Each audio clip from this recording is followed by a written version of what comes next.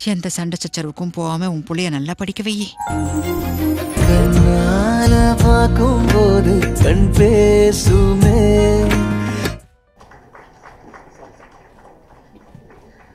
முதல்ல என்னை வாழ வைத்து கொண்டிருக்கும் தமிழகத்துக்கு என்னுடைய முதற்கண் வணக்கம். பத்திரிகை பத்திரிகையாளர்களுக்கு இங்கே வந்திருக்கும் இசை கலைஞர்களுக்கு நாட்டிய கலைஞர்களுக்கு இசை ரசிகர்களுக்கு எல்லாருக்கும் என்னுடைய மனமார்ந்த வணக்கத்தை தெரிஞ்சுக்கிறேன் ராமன் மற்றும் லக்ஷ்மண் ரெண்டு பேருக்கும் என்னுடைய பாராட்டுக்கள்.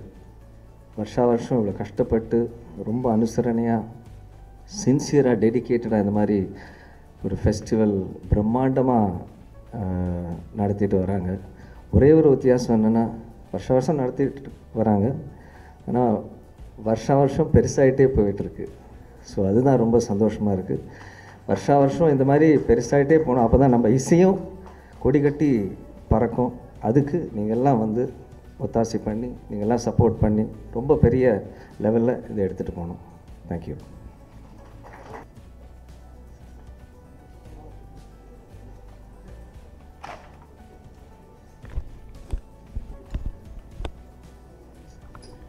sir sir please sir கொஞ்ச நேரம் ப்ளீஸ் சார் மேலே.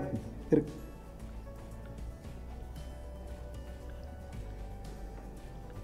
தேங்க்யூ சார் உன்னிகிருஷ்ணன் சார் வந்து தொடர்ந்து சென்னையில் திருவையாரில் பதினான்காவது வருடமாக இந்த வருஷம் பாடுறார்.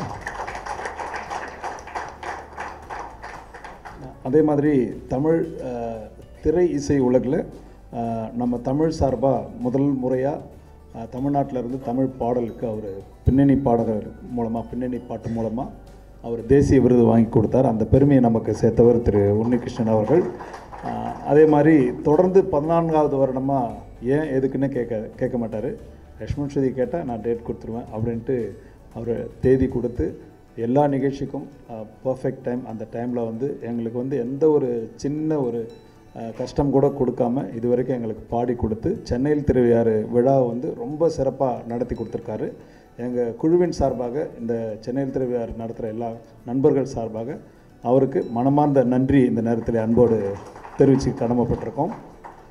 அவர் சில நிகழ்ச்சிகள்லாம் எங்கள் மெல்லிசை மேடையில் பாடினா கூட பக்கத்தில் இருந்து கேட்கக்கூடிய வாய்ப்பு எங்களுக்கு இருந்தாலும் அவர் சென்னையில் திருவிழாவில் பாடும்போது இல்லை வெளியில் எங்கேயாவது சவாலை பாடும்போது அவர் தூரத்துலேருந்து பார்க்கும்போது அவர் வந்து நம்ம மெல்லிசை மேடையில் பாடுறாருன்னு எனக்கு அதிசயமாக இருக்கும். அந்த மாதிரி ஒரு எக்ஸ்ட்ராடினரி சிங்கிங் பார்க்கும்போது பிரமிப்பாக இருக்கும். இன்னும் நிறைய சாதனைகள் படைக்க உங்களுக்கு எங்கள் குழுவின் சார்பாகவும் வருகை தந்துள்ள அனைத்து கலைஞர்கள் புகைப்பட கலைஞர்கள் நிருபர்கள் சார்பாக வாழ்த்துக்களை